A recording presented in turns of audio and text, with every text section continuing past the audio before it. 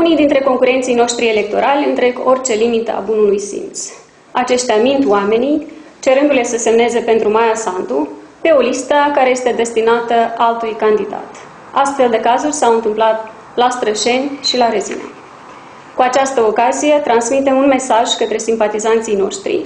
Vă rugăm să fiți vigilenți și înainte de a semna să verificați ca pe pagina cu datele candidatului, pe spatele listei cu semnături, să apară numele candidatului PAS.